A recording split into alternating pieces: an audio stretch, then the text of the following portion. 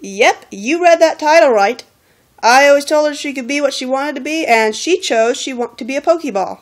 Yep. So this is just a quick one. She is going into shed pretty soon, as you can see a little bit of those iridescence, which BRBs are quite famous for when they're going to shed. I think her head's just about there-ish.